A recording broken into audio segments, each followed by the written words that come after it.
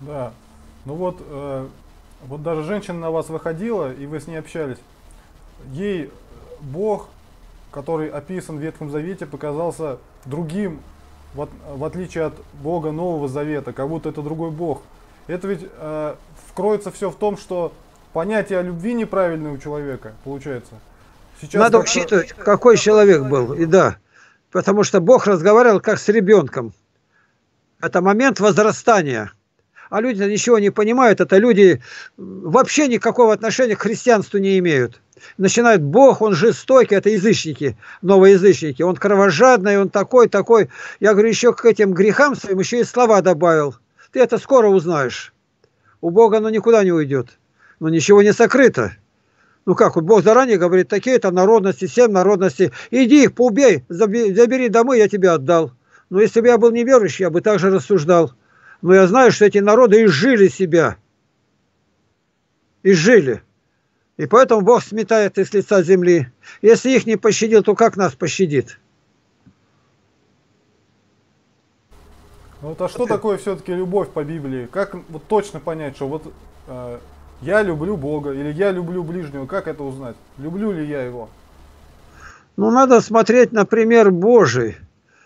Вот я люблю Бога, проверяется, как я люблю его заповеди. Господь говорит, если любите меня, соблюдите мои заповеди. Прямо дается. Любовь проявляется в конце как бы воплощается через исполнение его заповедей. И человек просто боится, где бы заповедь не нарушить. Это любовь. А другому разницы никакой нету. Ну, хоть как. Тут это очень просто понять. Но как любовь Божия к нам, мы знаем, первый мир погиб в воде. Погибли младенцы, погибли звери, погибли птицы. А кто их потопил? Бог, имя которому любовь. Так Бог видел, конечно, видел, как младенцы захлебываются, тонут. Все погибли. Но это Божья любовь. Содом и Гамора горели как? По любви. Бог-то он все время любовь. Он, хотя и написано, мстит, а на самом деле Бог ничего не мстит. Но мы должны говорить, да, Бог мститель. Вот, отмститель до такого-то колена, там, насколько любящий, проклинающий, там все, все у Бога высчитано где-то. А как мы должны относиться? Любить Бога. И она исполняется так. Если любишь Бога, как можешь любить Бога, которого не видишь, а ненавидишь брата, которого видишь? Вот пример какой. Потому что в каждом ты должен увидеть образ Божий, если он там есть. О том, чтобы богохульника любить, нигде нету.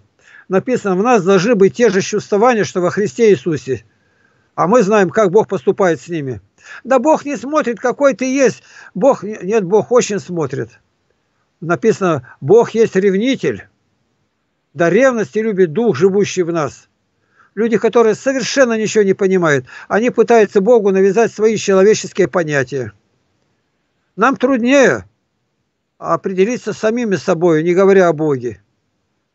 Он дал мне наказ. А как я его исполняю? Ты знал о том, что с пустыми руками придешь, остался верующий, зарытый талант, и ты будешь знал, почему сидишь дома, не благовествуешь?